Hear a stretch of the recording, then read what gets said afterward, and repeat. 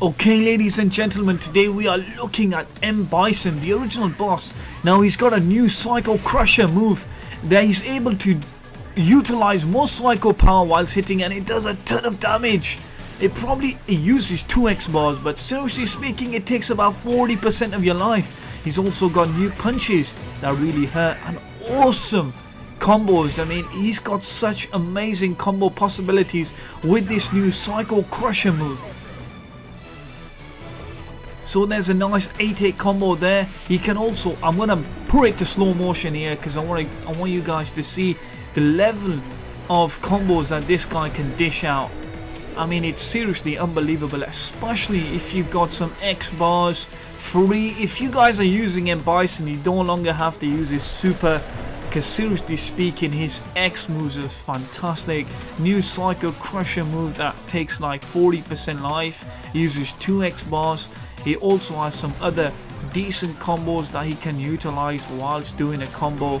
This guy is one of the best players in Omega mode. If you guys have not used M Bison, get hooked on this guy because he's relatively easy to use and is very very powerful indeed. This is M. Bison ladies and gentlemen the original boss I mean forget Seth.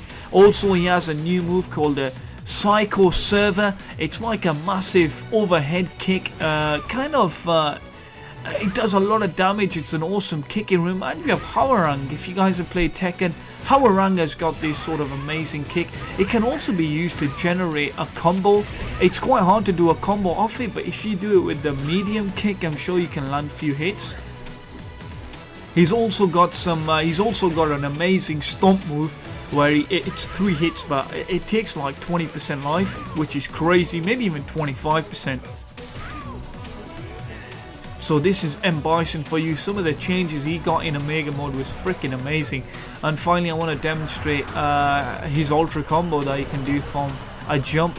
Uh, this is, uh, you could already do this in Ultra Street Fighter 4, but I just think uh, these sort of sets of moves make M. Bison one of the most menacing players in Omega mode by far and he really is a tricky player to beat. Thank you very much for watching this video. If you guys liked it, please smack that like button.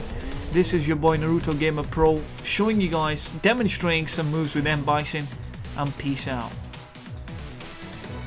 By the way, I just want to quickly finish by saying I wish in Street Fighter 5 M Bison is the final boss. Thanks.